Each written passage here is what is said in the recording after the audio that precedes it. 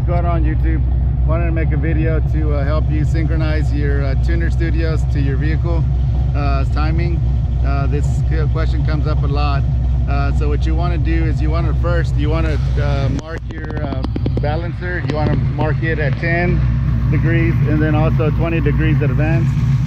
what, what I've done, mine's marked at 10 but um, but actually mine's very easy to read all the numbers are real clear it's a brand new balancer uh, so um, anyway mine is set up at 20 degrees. Uh, the first thing you want to do whenever you adjust uh, set your timing is you want to come up here to ignition settings in tuner studios. The first option is uh, ignition options and then go to this option up here where it says uh, use table. Uh, right now it's going off of the ignition table. You want to set it to fixed timing. When you do that you want to hit burn and then the next thing you want to do is uh, do not don't don't remove this uh, this adapter here for the distributor. Leave that plugged in. You simply adjust it on the uh, tuner studios and you're set.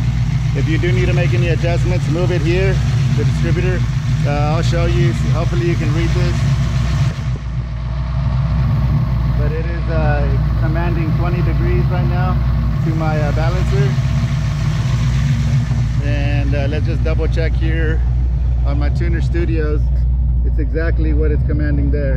Um, one thing you can do is rev up the engine. Obviously I'm have one hand tied up so anyway uh, do that and make sure it's commanded still to 20 uh, what I found is this hardware latency. You can adjust that in case you lose some of the RPM where it starts to do some to retard.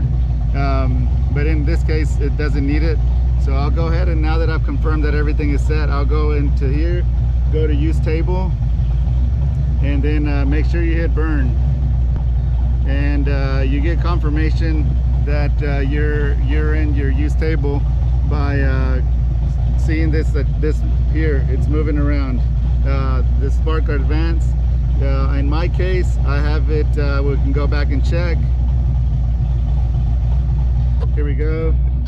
This is my timing my base timing in this area.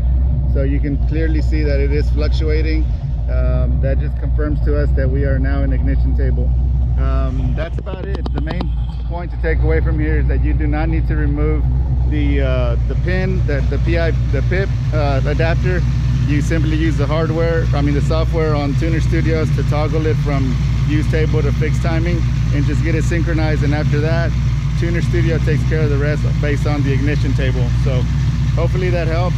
Uh, shoot me a message if you have any questions. Thanks a lot.